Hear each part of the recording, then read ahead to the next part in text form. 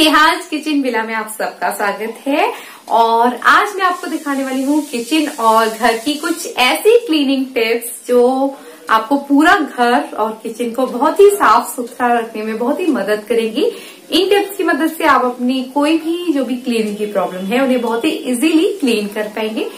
तो आप इन्हें देखिए और इसी के साथ मेरे किचन टिप्स वाले वीडियोस को भी देख सकते हैं, जो आपको आपकी डेली रूटीन में मदद करेगा। और अच्छा लगे तो प्लीज़ लाइक करना ना भूलिए वीडियो के नीचे लाइक बटन दबा दीजिए. थैंक यू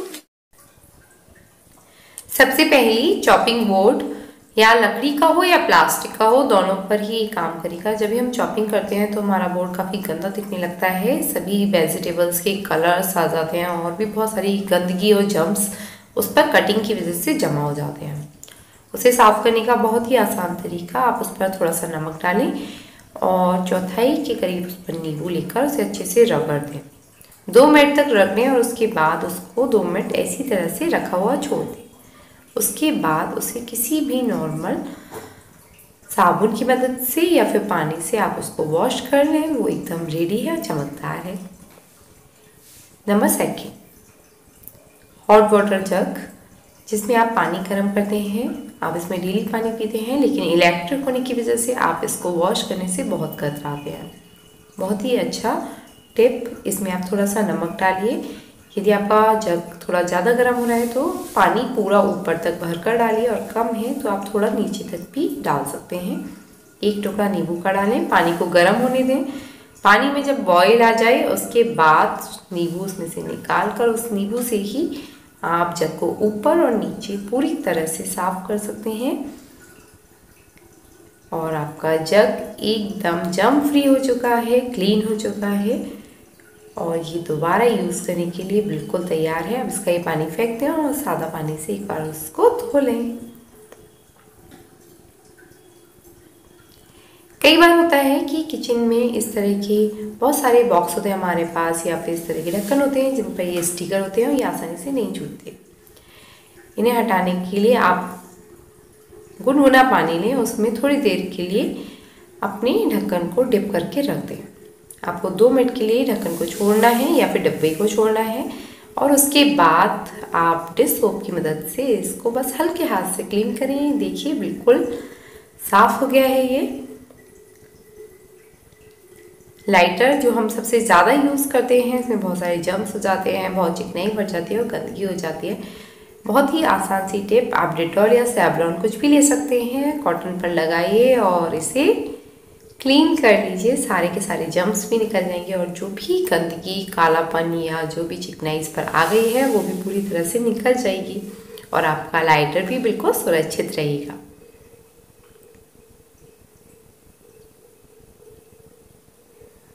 ये देखिए, इसकी चमक वापस आ गई है।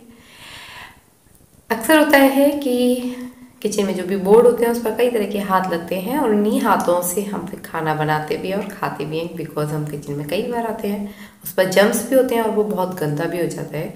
इसके लिए भी बेस्ट है कि आप डिटॉल या सैबलॉन लें, एक कॉटन पर और उसको अच्छे से आप चॉप सॉरी बोर्ड पर लगा दें और उसको एक साफ़ कपड़े से पहुँच आपके सारे के सारे बटन और बोर्ड एकदम क्लीन है। कई बार होता है कि हमारा कोई फ़ोन आ गया या फ़ोन पर बात कर रहे हैं किचन में हम फ़ोन यूज़ कर रहे हैं स्क्रीन हमारी बहुत ही गंदी हो जाती है। और फ़ोन एक ऐसी चीज़ है जो हम हर जगह यूज़ करते हैं तो उस पर बहुत सारे जम्स भी होते हैं। इसीलिए का सैबलॉन या डेटॉल से अच्छे से क्लीन कर दें, इसके जम्स भी निकल जाएँगे और आपकी स्किन भी चमकदार हो जाएगी। ये है ब्लेंडर ब्लेंडर और मिक्सी इसको हम बहुत ज़्यादा यूज़ करते हैं, हम इसे बाहर से तो हमेशा साफ़ रखते रहते हैं, लेकिन इसके अंदर भी पैदा हो जाते हैं जम्स बिकॉज़ खाने के काफ़ी सारे जो छोटे छोटे टुकड़े होते हैं वो उसके अंदर चले जाते हैं, गिर जाते हैं। इसके लिए बेस्ट है कि आप थोड़ा सा विनेगर निकालें एक कटोरी में। एक स्पंज पर थोड़ा विनेगर लेकर इसको साफ़ कर दें। कोई भी टैप इस तरह की जो पानी की टैप होती हैं उन पर बहुत सारा जमा हो जाता है। कुछ ना कुछ पानी के निशान या फिर कुछ गंदगी सी तो पानी के सारे हार्ड निशान निकालने के लिए नींबू पर थोड़ा सा नमक लेकर इसको अच्छे से रब करें। दो से तीन मिनट रब करने के बाद आप इसको नॉर्मल वाटर या बाम वाटर के साथ धो दें।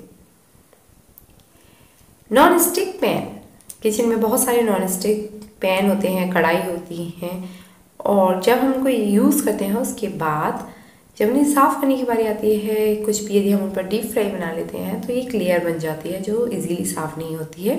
तो गरम गरम नॉन स्टिक पैन जब आप उसे उतार रहे हो, उसे हल्का पानी डालकर पहले इतना ठंडा कर लें कि आपका हाथ ना जले, उसके बाद कॉलगेट लें और थोड़ा सा डिश सोप किसी भी कपड़े पर लेकर उसे साफ़ कर लें उसकी चिकनाई पूरी तरह से निकल जाएगी, ये देखिए।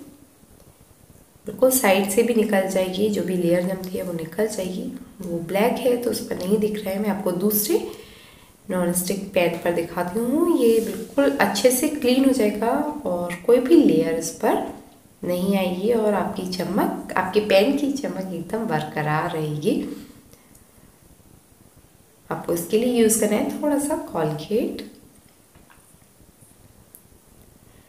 माइक्रोवेव माइक्रोवेव में हम अक्सर कुछ ना कुछ बनाते रहते हैं और खाने की टुकड़े गिरते रहते हैं तो उसके लिए माइक्रोसेव बाउल में थोड़ा सा पानी डालकर जो खाली नींबू के छिलके हैं, उनको डाल दें। उसके साथ ही माइक्रोवेव को तीन से चार मिनट के लिए माइक्रोवेव करें, जिससे पानी में से अच्छे से स्टीम निकलने लगे। पूरा माइक्रोवेव में जब स्टीम जाएगी तो नींबू की एसिटिक एसिड, उसको जम फ्री तो बनाएगी ही।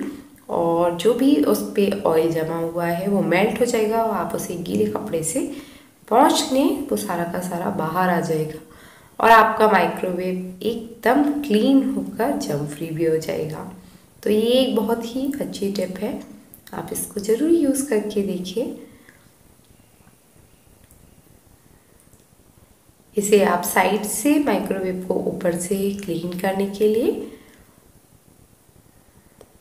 नीचे से और साइड के डोर्स, बटन, सब कुछ क्लीन करने के लिए यूज़ कर सकते हैं। अक्सर होता है कि जब भी हम किचन में कुछ खाना बना रहे हैं तो कुछ ऑयल या कोई चिकनाई हमारे कपड़ों पर आ जाती है या किसी और चीज़ पर गिर जाती है तो तुरंत की तुरंत उस पर कोई भी टेलकम पाउडर डाल दें। टेलकम पाउडर उस चीज़ की चिकनाई को तुरंत सोख कर लेगा। उसके बाद हल्के गुनगुने पानी से आप उसको वॉश कर दें। कपड़े पर तेल का कोई भी निशान नहीं रहेगा और आपका कपड़ा एकदम नया और साफ़ दिखने लगेगा। ये देखिए, मैंने यहाँ पर एक शर्ट आपको इस तरह से वॉश करके भी दिखाई है, जिस पर से तेल का पूरा निशान एकदम निकल जाएगा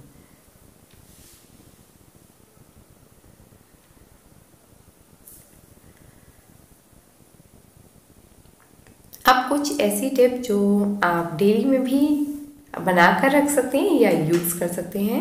ये है मेरे पास दो ढक्कन मैंने इसमें डाला है विनेगर और एक बड़ा चम्मच डाला है बेकिंग सोडा। आप चाहें तो इसको स्प्रे बोतल में रख सकते हैं या फिर चाहें तो स्पंज की तरह से बनाकर रख सकते हैं।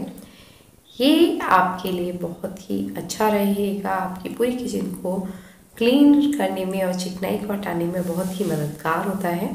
गैस स्टोव के आसपास कई बार ऐसा होता है कि चिकनाई की वजह से या किसी और रीज़न की वजह से वहाँ पर कुछ कालापन जमा होने लगता है। तो आप इस तरह का एक पैड लें, उस पर पहले इसको लगा दें और थोड़ी देर के लिए इसको छोड़ें।